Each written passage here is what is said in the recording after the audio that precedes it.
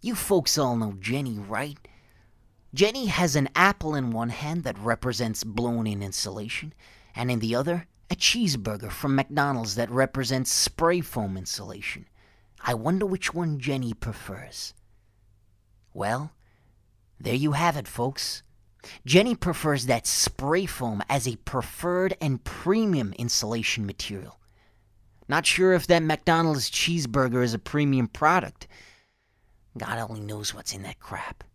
Then again, I don't know what chemicals are in that spray foam either, but I am willing to bet that cheeseburger has more. It's not going to save you money on your heating and cooling bills, and it won't make you comfortable. Probably just give you gas. See? That was Jenny.